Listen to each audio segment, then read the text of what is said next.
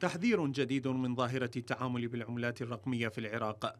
أصدرته محكمة تحقيق الرصافة المختصة بقضايا النزاهة وغسيل الأموال مشيرة إلى الأثر السلبي لتداول تلك العملات على الاقتصاد الوطني لإمكانية استخدام الأموال المتحصلة منها في تمويل الجرائم الخطيرة. كما إنها تعتبر بابا من أبواب عمليات غسيل الأموال. ووفق مختصين فإن ضعف النظام النقدي وغياب الحوكمة الإلكترونية عاملان يسهلان عمليات التداول بالعملات الرقمية لتكون جزءا من عمليات غسيل الأموال والتهرب الضريبي.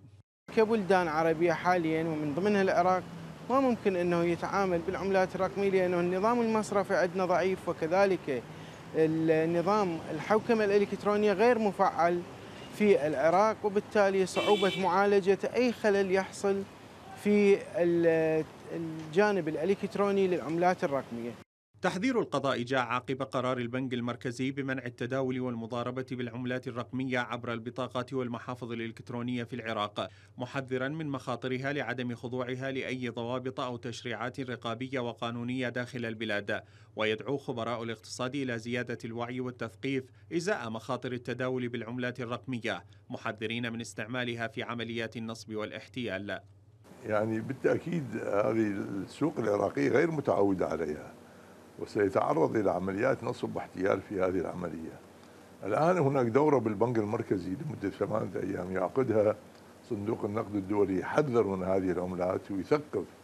يعني لا يوجد وعي يعني هو دينار أو خمسة أو عشرة صادرة من البنك المركزي هناك شك بها فلا زال العراق يحتاج إلى عملية تثقيفية ودورات تأهيلية حتى يتهيأ لهذه العملية من العملات الرقمية.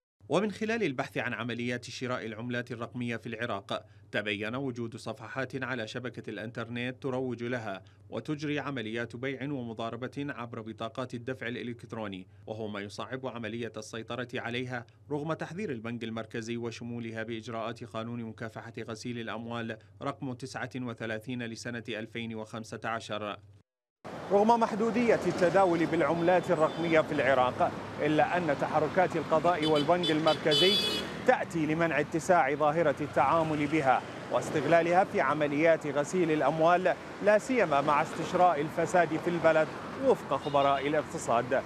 أسعد الزلزلي الحرة.